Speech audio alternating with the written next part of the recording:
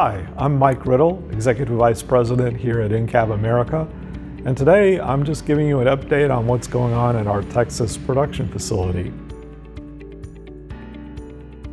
Hi, I'm Mike Page. I'm the plant manager at InCab America. I'm Daniela Zelter. I'm an accounting manager here at InCab America.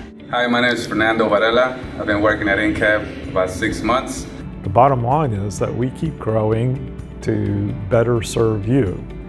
So, as you know, we started a facility here stranding OPGW, but over the last year or so, we have added other pieces of equipment to support that. We've added a new payoff, and this year we've added a cable rewinder that will help us be more productive and more efficiently use our existing strander. But the really big news, the exciting news is that we have added a dielectric extrusion line. That's right, we're going to be able to make our ADSS here in Texas in addition to our OPGW.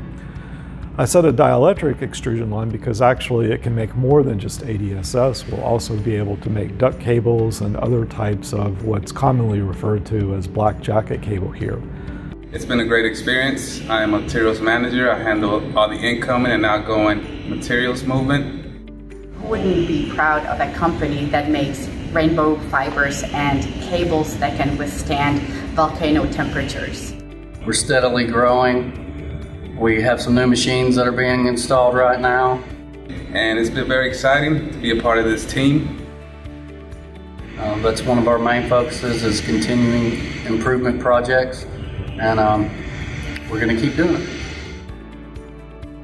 So we're real excited about that and we're looking forward to being able to serve you better.